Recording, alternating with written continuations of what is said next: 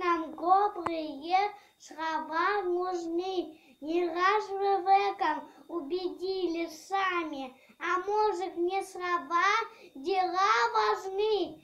Дела делами, а слова словами. Они живут у каждого из нас. Нам не глуши до времени хранимый, чтоб их произнести тот самый час, глухимый необходимый.